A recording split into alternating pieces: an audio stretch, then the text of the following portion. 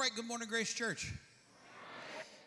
If you're wondering who I am, uh, I'm Wes. I'm one of the pastors at Grace Church. I usually am over at the Cape campus, and it's my joy to be here today. Pastor Sherry is at our Central campus, and uh, they're doing a whole bunch of baptisms, and she knows some of the folks there, and so she has the honor of doing that.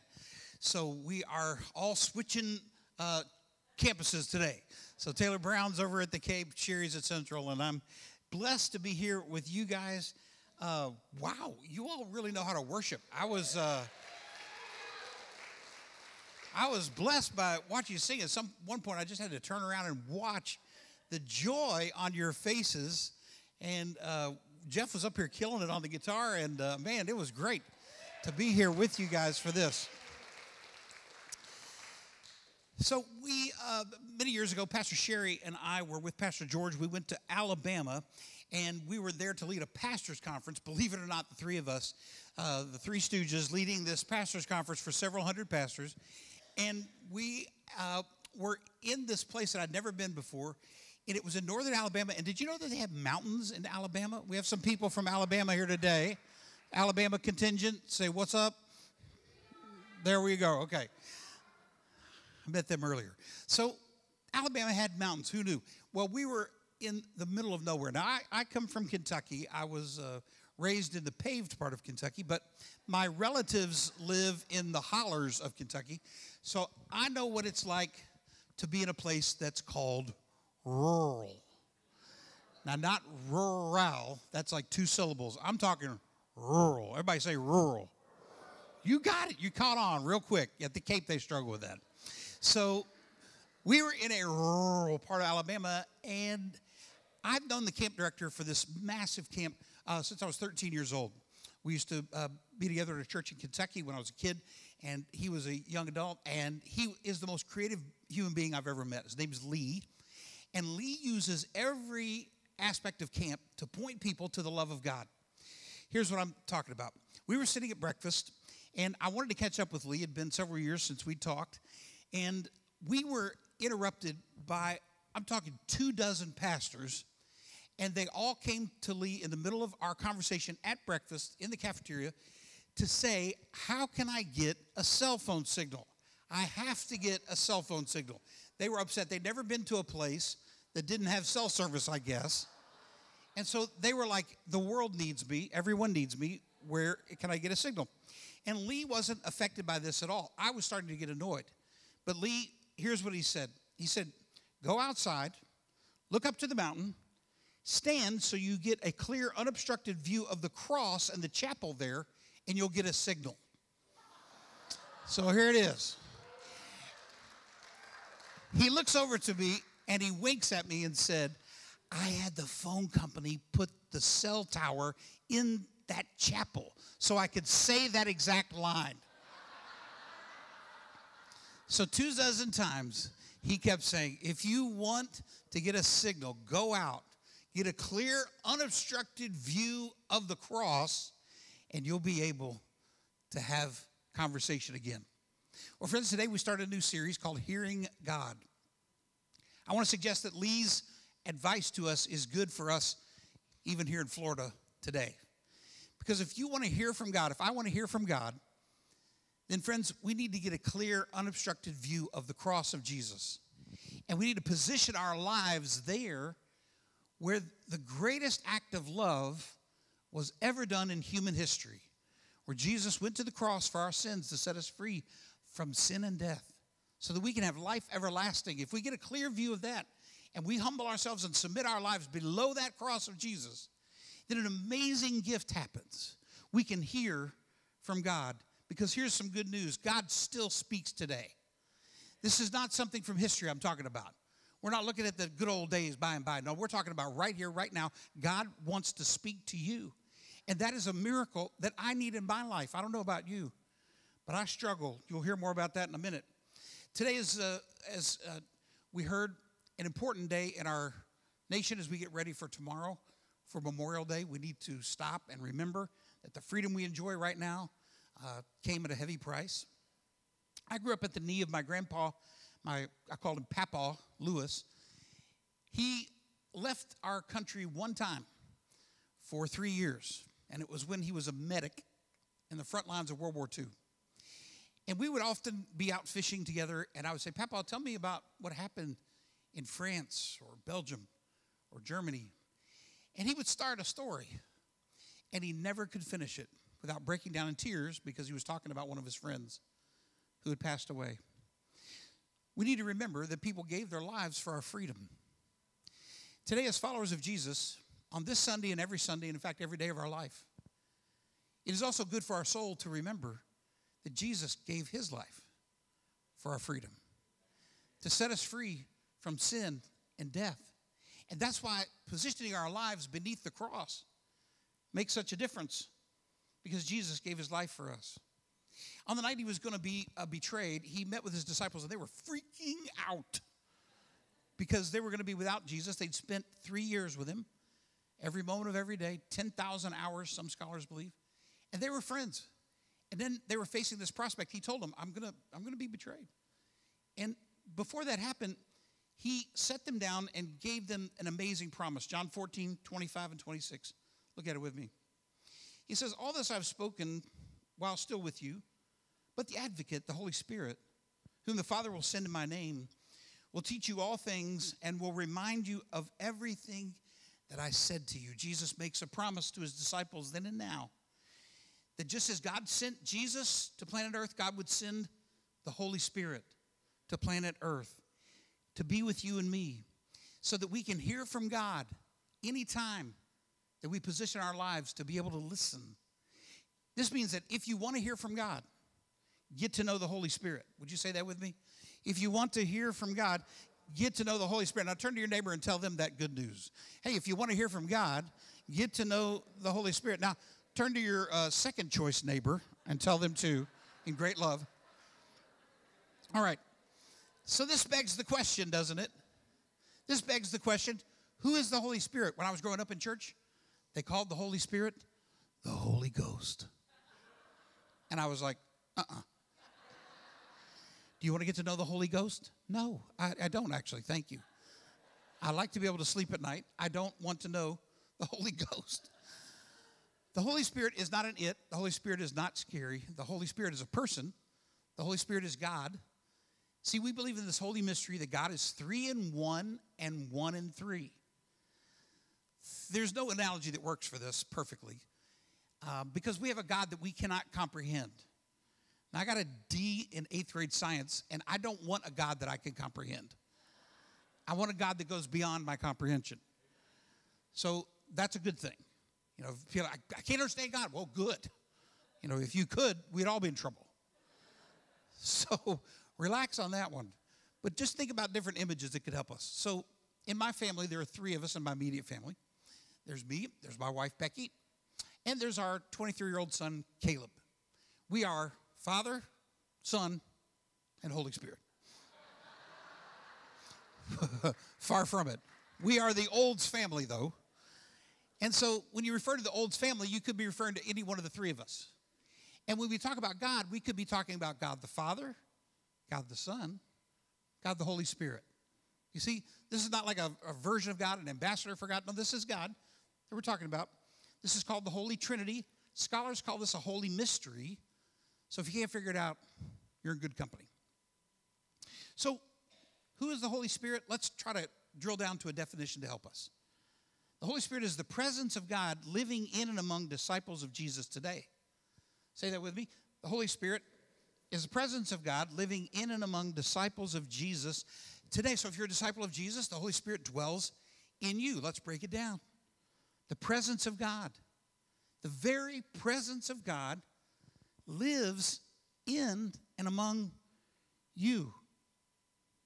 The presence of God living in and among disciples of Jesus today.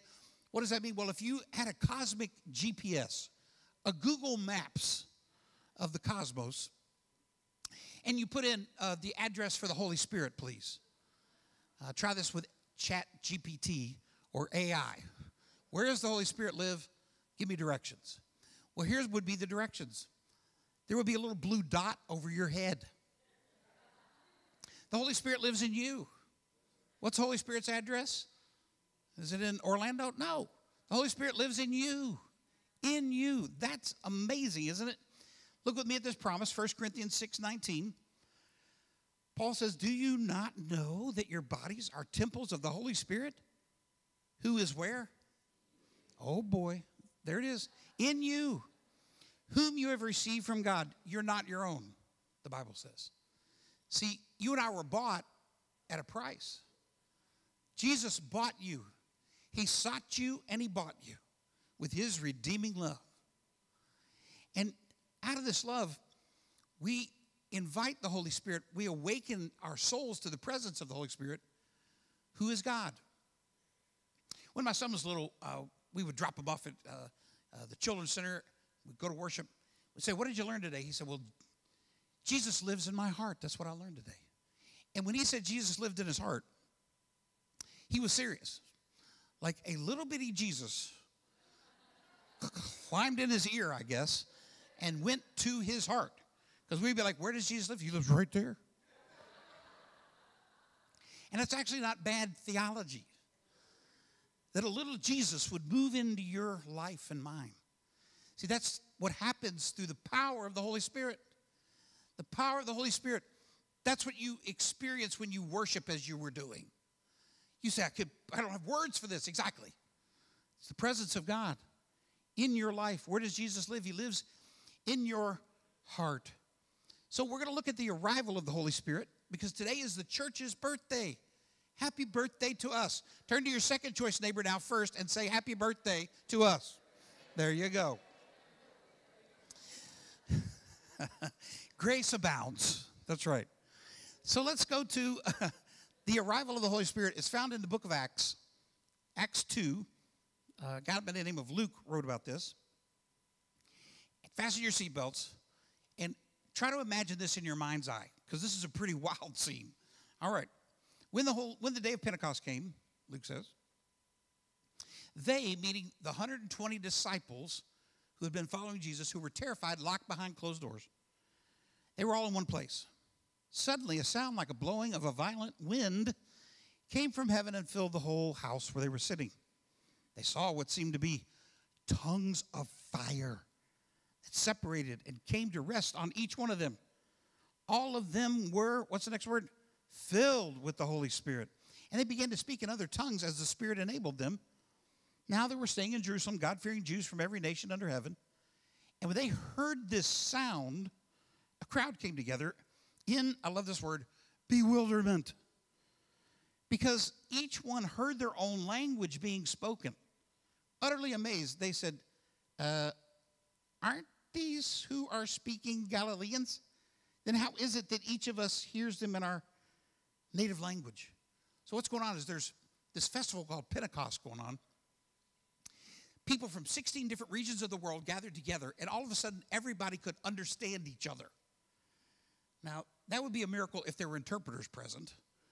Um, and even then, that they would all come together as one, that's shocking. Uh, people from all over the world, and they gathered together and they could understand each other. This is not the spiritual gift of speaking in tongues, by the way because that's it, uh, speaking a prayer language in unknown languages. They're speaking in known languages Greek and Aramaic, Latin. They're speaking and they can understand each other. It's a miracle. And this causes quite the scene because those believers were terrified last time we saw them. They were hiding out. They're like, Jesus was crucified, we're next. So they were they were filled with fear. And all of a sudden, they're out sharing in the joy of this moment. Tongues of fire, wind. We know a thing about wind down here in Florida, don't we?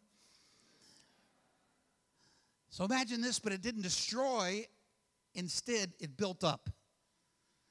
That's amazing. And here's why this matters today. Because when God speaks, lives change. Okay, you're warming up now. I'm getting ready to bless you. Are you ready? Because when God speaks, lives change. Lives change. When God speaks, brokenness is redeemed. When God speaks, families are restored. When God speaks, deep wounds are healed. When God speaks, addictions are defeated.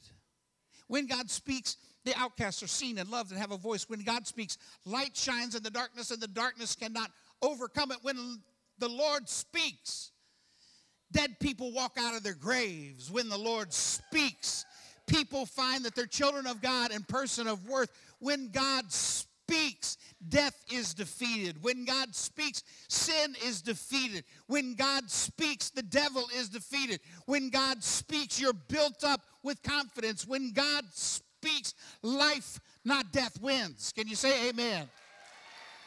Yes, sir. Oh, yeah, we're having church up in here. I'm going to send Sherry to preach somewhere else next week, too. You guys are awesome, but let the Spirit of the Lord move in this place right now. Move in your life. Are you discouraged by something? Are you beat down by something? I got up and I saw the news the other day. They said it's a tax holiday. I was like, woohoo, for what? Hurricane preparedness. No. I I don't know about you, but I've got over the last part yet.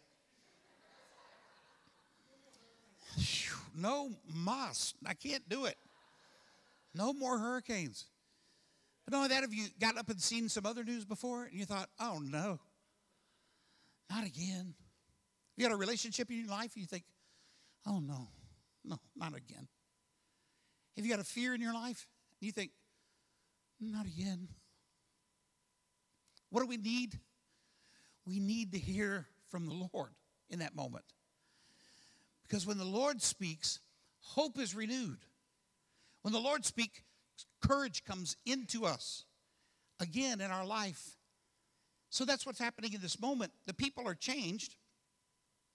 And Peter gets up to explain what's happening to the multitudes, tens of thousands of people that are around where they were staying. Now, if I'm there at the first Pentecost, this is a problem. Like if I'm one of the disciples and Peter goes, Listen, I got this, fellas. I'd be like, Oh, no, no, no, no, no, no. Let's get Andrew. Let's get John. Let's get John's faithful. Let's have him go up there. Peter, not you. And what happens? I mean, Peter at his best was unpredictable when Jesus was at his very side. And now he's going to get up and speak in this defining moment of history in the history of the church. But something supernatural happens. Peter gets up and preaches the first Christian sermon. And in his first sermon, 3,000 people respond to the good news of Jesus. Now, listen, as a preacher, yes, that's good. You know what that does for me? It makes me scared. Because as a preacher, I preach 3,000 sermons hoping one person would respond. Peter preaches one sermon and 3,000 respond. I mean, we preachers, we got egos. We're, we're worse off than you are. In fact, we're, we're just, we're a terrible lot. I'm preaching to myself up in here. And that's often the case. so Peter gets up, and here's what he says. Then Peter stood up with the eleven, raised his voice, addressed the crowd, fellow Jews, and all you who live in Jerusalem. Let me explain this to you. Listen carefully to what I say. this is great. The people are not drunk as you suppose. It's only nine o'clock in the morning. Oh, okay. Well, that's good. No, this is what was spoken about by the prophet Joel. In the last days, God says, I will pour out my spirit on all people. Your sons and your daughters will prophesy. Your young men will see visions. Your old men will dream dreams. Even on my servants, both men and women, read the rest with me. I will pour out my spirit in those days, and they will prophesy. Who gets in on this? Everybody. The only thing that people could come up with when they arrive at the scene is, well, they're all drunk. And he's like, no, no, no, no, hold on, hold on. His reasoning, it's only nine in the morning, right? They hadn't written the song five o'clock somewhere. But he preaches a sermon and he quotes the prophet Joel. That wasn't in my manuscript, I'm sorry. And, he, and Joel says this In the last days, God says, I will pour out my spirit on all people. Isn't that interesting? The last days. Do you ever feel like you're living in the last days? Yeah, me too. And from a scriptural point of view, we are. See, the arrival of Jesus is not the only time Jesus will come. when he came on a silent night, a holy night, when all was calm and all was bright. See, that time a lot of people miss the arrival of Jesus. But Jesus is going to come again, and nobody's going to miss it. In fact, every knee will bow, and every tongue will confess that he is Lord. And so, this in between time, between these two advents, from a scriptural point of view, are the end times. People a lot of times will run up to like, Did you hear what happened? I think we're living in the end times. I'm like, You're right. We are. But we have been for a long time. It's okay. It's okay. The good news is we are one day closer to Jesus' arrival back here on planet Earth. And in the meantime, what God has done is through his grace has sent the Holy Spirit to us. The Holy Spirit, the Greek word for Holy Spirit is paraclete. It means one who comes alongside of you. When my papa was telling me those stories about his days in the United States Army, they would have paracletes. They would have people that came alongside them and they would march shoulder to shoulder and they would go into things together. They would go into battle together. And what the Lord is saying is, I'm sending you a paraclete, one who comes alongside you. And so you don't have to fight these battles that you face alone. The Lord is with you today. Take strength. The God of angels' armies is always by your side. And we begin this relationship by hearing from God, recognizing His presence through the Holy Spirit, and hearing from God. Now, not to be Captain Obvious here, but hearing from God first requires that we stop and listen. You're like, wow, that's profound. Well, it's news for me because my life can be so busy and loud that if I want to hear from God, I have to be quiet. Quiet. And sometimes it's a little scary and weird and awkward to be quiet. But if we want to get the signal to hear from God, it requires that we position our life humbly before the cross, under the cross. So we can discern what voice am I hearing? You struggle with this? I have a village of voices in my head. I call them smurfs. If you've read my book, you, you know all of the stuff. It's terrible. Uh, because I described the Smurf village in my head. I have trouble figuring out who is speaking. Is it one of my Smurfs or is this Jesus? And so, what this requires is for me to be quiet and do something called discern. One of Sherry and I's favorite authors is Henri Nouwen. He says this about discernment discernment is hearing a deeper sound beneath the noise of ordinary life. See, that deeper sound is what we're listening for, it's the voice of God. Now, when Peter addressed the crowd, thankfully they were listening and they were impacted by what happened. Look at me at Acts 2:37. When the people heard this, read the rest with me. They were cut to the heart and said to Peter and the other disciples, "Brothers, what shall we do?" They were cut to the heart. You see, some of these people were the same ones that 50 days earlier at Passover had most likely been in the crowd and shouted about Jesus, crucify him. And now Peter's preaching and speaking the word of God from the prophets, and some of them are like, oh no. Oh no, that's who that guy was. He's the Messiah. And I was there yelling. Have you ever had a moment like that with God? Like God's goodness is explained, and you're like, oh, Wow. The first time that happened to me was I was in eighth grade. We were at youth group. We had communion that night. And they were talking about the story of Jesus. I had heard that many times when I was a child. And yet, something about the love of God that would give God this urge to give of his son for me just struck me. In fact, it cut me to the heart. And I was so overcome with emotion I just sobbed on the shoulder of one of our youth counselors. When it came time to take communion, I went last because I thought, I am not worthy of this kind of love in my life. Because I knew even as an eighth grader, something's wrong with me. There's something that doesn't always agree with the love of God. Like, I don't always live that out. I don't always speak that out. Or here's the worst one for me think it. You know, I might be kind on the outside just because I've been domesticated. we do that with our dog, right? Be nice. But on the inside, something was wrong with me. I was cut to the heart. This has happened dozens and dozens of times in my life. And what this means is you and I need to respond when God speaks to us, even if it's a little bit painful, because there's going to be some healing that comes. And so Peter tells them what to do next, verse 38. So they're cut to the heart.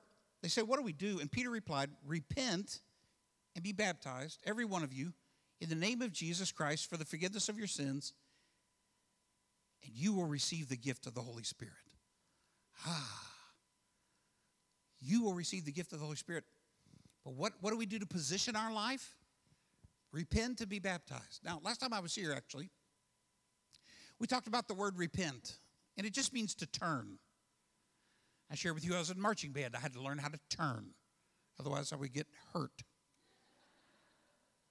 And so, what this means is turning away from our own agenda, our own sin and selfishness, turning away from Satan, even temptation, and turning toward God. Baptism is an outward visible sign of this move in our life. So, this means two things. Peter is telling us, I think, today, to surrender from sin and self. What do we do? Well, to live life to the fullest, with the confidence of a child of God, it means first surrender from sin and self, and then this move submit to God. Submit to God. So, what is God inviting you to do? What is He inviting you to surrender? How is He calling you to submit? Here's why this is worth it. Because there's a promise embedded in all of this story for us today. And that is that God speaks through His promise, the Holy Spirit, and we hear through our obedience. Now, a few weeks ago, Pastor Sherry taught about obedience, and obedience is, it just simply means to listen. Can you believe that? I always had obedience like is this kind of like you shout at me, you know, obey or something. And it's not what it means. It means to listen under somebody else. It means to basically position our lives beneath the cross, get a clear signal, and then we can hear from God. My friend Lee had it right. And friends, we are called to these moves in response to God's love. Now, I know some of you are like, listen, that was quite the trifecta of words surrender, submit, obey. Well, I want to tell you that it's worth it. And I discovered it again yesterday. For the last three weeks, I've been seeing a pastoral counselor, a new one in my life. His name is Brian, and uh, we meet on Saturday mornings. I went to see him because this last year has been tough. It's been full of losses. Uh, my mother in law even passed away 10 days after the hurricane. And then there's been relationships that have been strained, transitions that have taken place in my own life that I don't like. And all of this was awakening new fears inside of me. I thought they were new, they're actually old. And here's what I forgot about going to counseling. The first week of counseling is great woohoo, I'm doing something good for myself. I went and saw a counselor. The second week is terrible. Oh no, I'm so messed up. There is no hope for me. This is what was going through my head all last week. Well, thankfully, I saw my counselor again yesterday. And he said, Wes, I, I want to help you out here, and I want to invite you to do something. And um, it's to recognize that not everything in the world that's broken can be fixed. And I'm like, what? I thought I was supposed to fix it. he goes, No, some things just are. Some feelings that you have, they just are. Are you sad about everything that's been happening? I said, Yeah. He said, Well, then you could be sad. I was like. But I don't like to be said. I like to fix it. So he drilled down a little bit deeper and he said, Wes, I want to invite you to something. I want to uh, invite you to let go, and then he says the word let go of control. I know, and I paid the guy. 100 bucks to say that to me. And I was like, okay, well, I don't know. So that was the end of our session, thankfully. He's like, you know, think about this. And I'm like, gotta go by. And so I went to lunch with my wife. We've married 30 years uh, as of two weeks ago, and I was talking to my wife Becky, which is a miracle in of itself. Yes, thank God for that. Amen. But 30 years have taught us something and it's taught her something. So she's sitting there at lunch, and I, I'm explaining this whole thing. I'm like, can you believe this guy, this counselor, has told me that I have struggled with control? And she just grinned. And she winked at me, and I'm like, oh, okay, you're one of him. You know, you're with this guy. And she said, You know, honey, I want to share something with you that's become important for my life. Just for me. I'm just sharing my story, she said.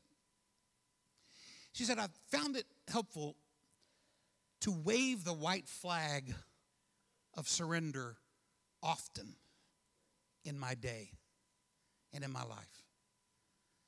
And I was like, okay, all right, the Lord's speaking here. I want to hear from God. Here it is. And she's absolutely right. You know, when an army is surrendering, they wave the white flag. And when we are cut to the heart and when we recognize that God's ways are higher than our ways, and that I need the love of Jesus in my life, and I need to listen to the voice of God over my even my own voice, which is usually right, right? if we recognize that, then the move we need to make is to wave the white flag. So the last 24 hours, that's what I've been doing. And then I had to preach this message with you for me and maybe some of you.